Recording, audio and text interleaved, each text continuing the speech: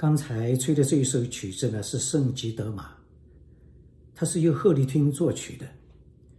口琴独奏曲是由已故的两位著名口琴家陈建成先生和石龙旺先生合作编配的，两位先生德艺双馨，值得我们后人敬佩学习。